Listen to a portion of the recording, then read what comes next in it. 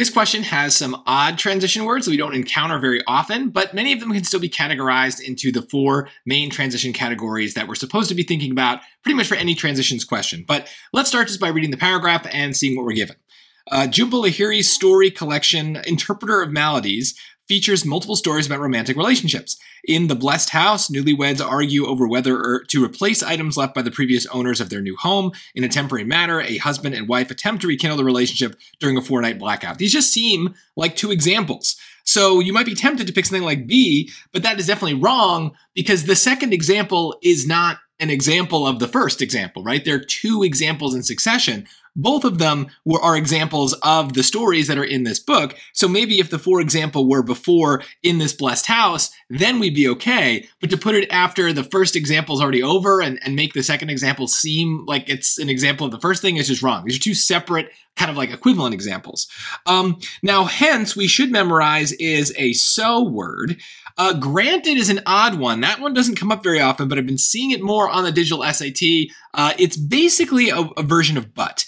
It's a way to kind of say that maybe what we just said um, is a little dismissive of, of, what we're about to say, right? So, or maybe vice versa, that what we're about to say that doesn't really match completely with what we just said. So, we'll see some examples of that in other questions on the SAT, but I don't think this is a contrast here because these seem to again be two examples of the same thing. It also doesn't seem like the second example is a like continuation or a cause and effect situation. So the best answer here is likewise, which we just use for comparisons. It basically means something like uh, similarly or just an and word.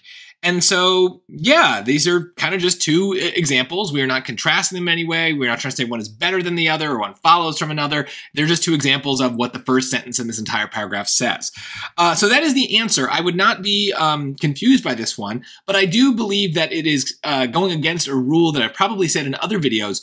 The word likewise is almost never correct it's one of those words that sounds really smart, so people are tempted to pick it when they're confused about what's going on, but it's very rarely the correct answer on an SAT question. Here, it was, and that's because it was being used in its actual way, which was just to say that two things are similar. So both of these examples are examples of what came up in the first sentence. Uh, they are stories about romantic relationships. So, example one, this blessed house is about newlyweds arguing over their new home. Similarly, likewise, we have in a temporary matter, husband and wife rekindling their relationship through a blackout. So, two examples of the same thing. Best case scenario for likewise, but again, if, if you didn't if it didn't feel like it was going to fit, you probably shouldn't pick it. It's not a choice that you go to when you're just trying to guess randomly.